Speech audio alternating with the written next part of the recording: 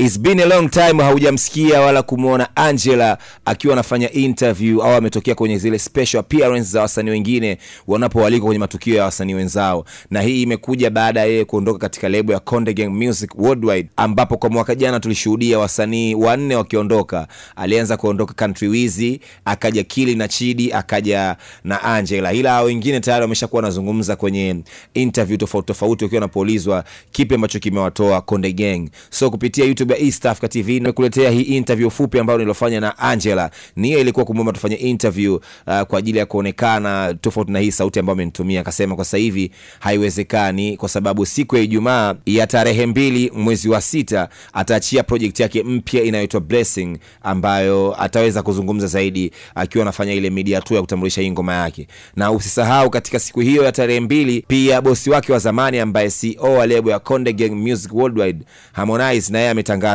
kuachia kazi yake mpya katika siku hiyo hiyo ya Juni mbili. Sijui itakuwaje, lakini uh, Harmonize na Angela wataachia ngoma uh, siku moja. So kwenye moja ya maswali ambayo nimemuuliza Angela kupitia hii sauti ambayo naenda kuisikiliza, nimemuuliza ipi tofauti kubwa sana uh, kati ya wasanii wengi wa kike uh, kutoka kwenye game tofauti na wasanii wa kiume. Unajua wasanii wa kiume kwa mwaka wanaweza wakatoka wasanii watatu au wanne na wote wakashaini kwenye game, tofauti na ilivyokuwa kwa wasanii wa kike wapya kushaini kwenye game. Na, na swali lingine nililomuuliza amewezaje kuishi kwenye femu ya ustaa bila kiki wala kufeki maisha, jambo ambalo baadhi ya wasanii wengi uh, wamekuwa wanaamini kufanya kiki au kufeki maisha ili kuzungumziwa zaidi, ndo wanaweza kusurvive kwenye game. Na nikamuuliza pia uh, mapenzi, pesa na umaarufu ni vitu ambavyo vinachanganya sana mastaa. Kwa upande wake yeye, kipi ambacho uh, kimefanya uh, kinamchanganya na kingine pia amejibu kuhusiana na posti yake mpya ambayo ameshare kwenye peji yake ya Instagram. As you know, baada ya kutoka Konde Gang alifuta picha zote kwenye peji yake ya Instagram. So nikamuuliza uh, kwenye hiyo posti yako mpya kwa ameandika una ndoto kubwa sana kushine kwenye muziki. Alipotoka na alipo sasa hivi anajiona akielekea huko, anaona amestaka au nadhani alitakiwa kuwa mkubwa zaidi hapa. Angela huyu hapa anafunguka zaidi kupitia YouTube ya East Africa TV akizungumza hilo la yeye baada ya kutoka Konde Gang. Mm, kwanza kabisa mi maisha yangu uh, sipendi yajulikane julikane mtandaoni, sipendi kujionyesha onyesha, yani napenda ni kwamba kitu kikienda mtandaoni ni kwamba ni mimi mwenyewe nimeamua kwa ridhaa yangu. Uh, na pia sipendagi mambo mengi, ndio maana unioni kwenye mambo ya kiki nini, na siamini sana, japo ukifanya jambo nakuwa naenda, lakini siamini sana kwenye kiki. Mm, mi nadhani kila jambo lina muda wake.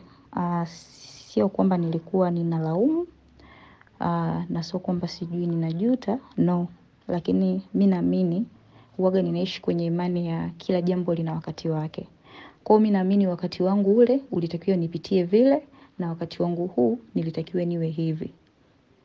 Mi nadhani Mungu anakupa jambo ambalo utaliweza, sio jambo ambalo utafeli. Ndio maana siku zote hata neno la kutokata tamaa lipo katika maisha ya watu, ili mradi tu mtu usikate tamaa, kwa sababu kila linalopangwa basi ujue Mungu ameliruhusu, kwa sababu anajua unaliweza, unaweza kulipitia. Yeah. Mm, jambo la kusema uachie msanii mpya uwe na msanii wako labda, uh, ni jambo la kujipanga. Uhum, ni lazima wewe kwanza mwenyewe uwe umejitengeneza, upo vizuri na mashabiki zako na pia ndo uandae sasa na mtu mwingine ambaye atasimama kwa niaba yako. Kwa ni jambo la kujipanga, ni jambo la muda, ni jambo la wakati. Kila jambo linahitaji wakati wake sahihi. Mm, inawezekana. Inawezekana vikawa vyote vinachanganya. Ila kwa mimi, ah, kwa mimi si, sielewi kitu gani ambacho kinaweza kikanichanganya. Japo mapenzi yana upande wake, pesa ina upande wake, umaarufu ina upande wake. Kwa hiyo ni vitu ambavyo ni wewe mwenyewe tu unatakiwa ujitahidi kumaintain.